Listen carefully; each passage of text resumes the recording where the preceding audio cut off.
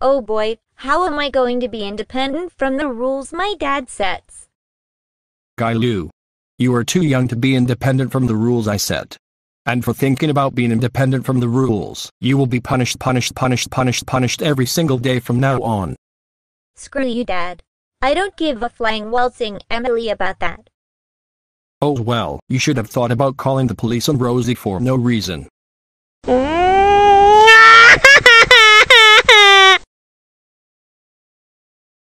And you have to be 21 years old to be independent from your parents.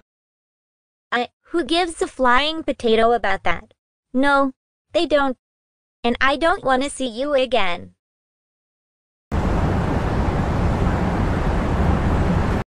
Oh oh oh oh oh oh oh oh oh oh echo. Galu. How dare you try to be independent from us? We are ultra lucky we made you fail big time.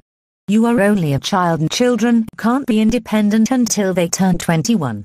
You are grounded grounded grounded grounded grounded for life and when you start your adulthood, you will live in our house forever. Go to your room and be heard. I really hope you are in eternal pain. And when you kill yourself, you'll be torn up. Mm.